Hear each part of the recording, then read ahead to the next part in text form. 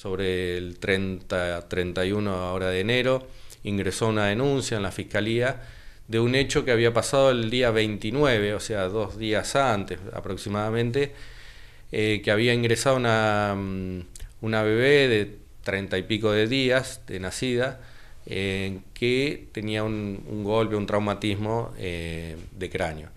Ante la, el examen de la, de la, bebé, la médica que hace ese examen formula la denuncia por las dudas y porque eh, se trataba de una familia en principio disfuncional, o sea, una familia ensamblada que a su vez la señora tenía hijos, que dos que estaban con el padre, eh, con, otra con otra pareja y el padre, porque se lo habría sacado la justicia.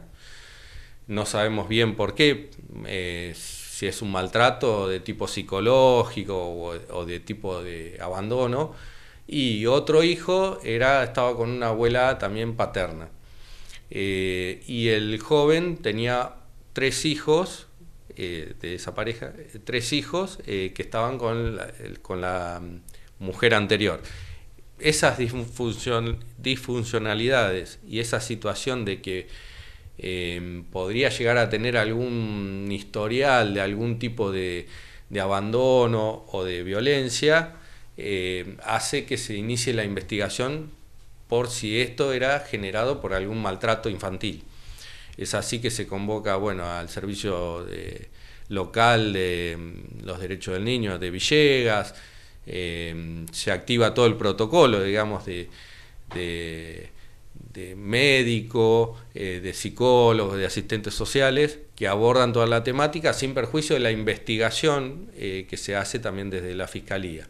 En principio, no está finalizada la investigación, pero en principio los dichos que ellos manifestaron en el momento de llevar a la criatura al hospital, luego fueron corroborados por testigos presenciales. Es decir, había sido una caída accidental en un parque municipal, o sea, eh, a la tarde, eh, con este sistema del huevito que llevan a los bebés, que se había destrabado, no estaba debidamente trabado y cuando lo van a mover eh, se habría caído la criatura. Eso fue confirmado. y además la situación de que inmediatamente concurrieron al hospital de producido este accidente. obviamente que por esos antecedentes con otros hijos, eh, se les va a poner una lupa desde la justicia, la justicia de paz de General Villegas. Eh, la jueza de esa localidad fijó una audiencia con los dos para la semana que viene. Mientras tanto renovó esa custodia eh, policial ahí en el hospital de General Villegas, que es donde está la, la bebé. Y obviamente que mantiene el contacto con su madre, porque es una lactante, y con una abuela. Eh, el padre también tiene acceso a, verla, eh, pero todavía eh, se sigue controlando y se sigue verificando a través de informes e información que despejar toda duda.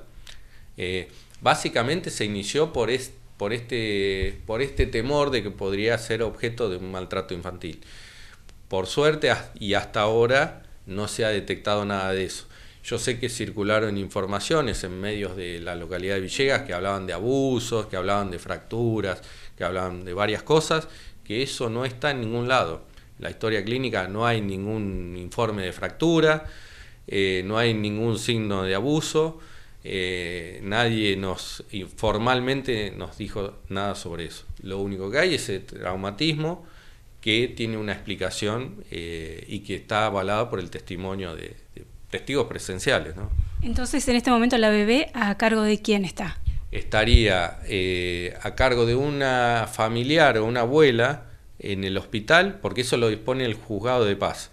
Eh, en el hospital con una custodia policial con acceso de la madre y del padre a verla. O sea, no es que perdió el vínculo, no es que se la sacaron a ellos, sino que mientras tanto y que se termine esta, esta no solamente la investigación penal, sino esta investigación por parte de, en el marco de la ley de violencia familiar por parte del juzgado de paz, eh, a través de informes con ellos mismos, con entrevistas que van a hacer la semana que viene.